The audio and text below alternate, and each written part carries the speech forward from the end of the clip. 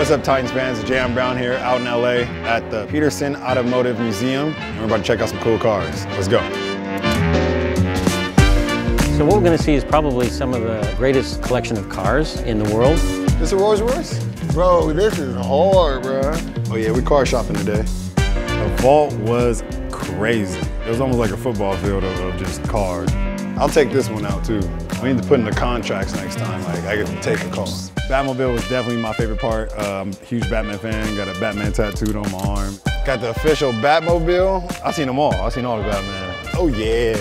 It's a childhood dream right here. Put me on uh, on wheelchair like this. yeah, the cars today was it, was it was amazing. Ferraris, Lamborghinis, Maseratis. For like uh, 2 Chainz on most expensivest right now. People smaller back in the day or what? First of all, flies all in your mouth, rocks on hitting you while you're driving. Just can't get up on the freeway, ain't no way. Are these lowriders? Ooh. Don't ever let me get a lowrider. I'm gonna break the hydraulic for sure. it was dope though. It was dope to see these old cars and how they transitioned throughout time into today's modern cars. Nah, this is the best collection in the world probably. And this is a better one, we gotta see it.